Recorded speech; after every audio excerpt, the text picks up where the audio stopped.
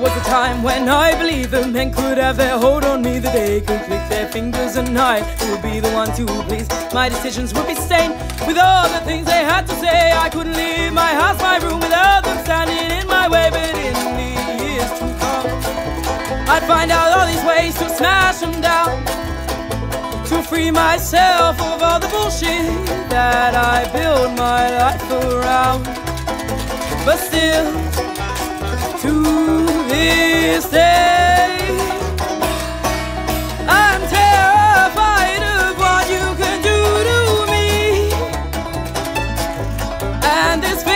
consumes me whether I'm awake or asleep.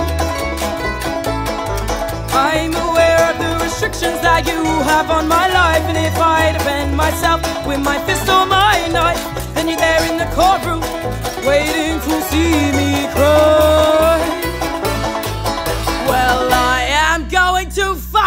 Cry.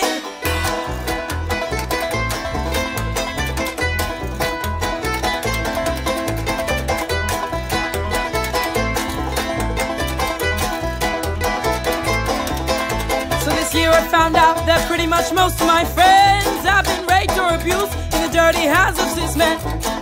Everything they knew and trusted crashed all around them. Now they're picking up the pieces, but they haven't quite found them. So now we're trying to support each other, but we don't always know how. Because from every moment we are faced with shame and disempowerment. And just when we think we're ready to live our lives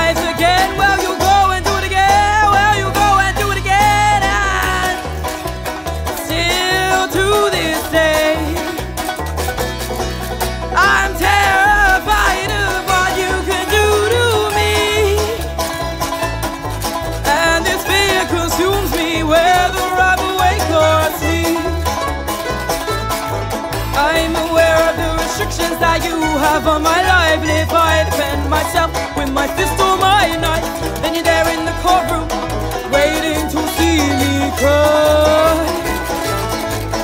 Well, I am going to fucking cry.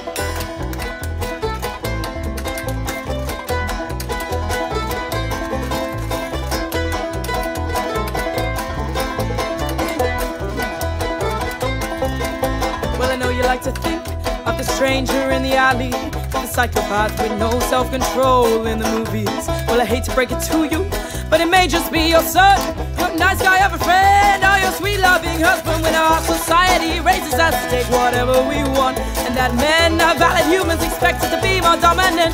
That our needs only matter when we have a dick to a them with. That consent is just a killjoy word to ruin perfect moments. Where if you don't get permission, then that makes you a rapist. If they're drunk asleep, your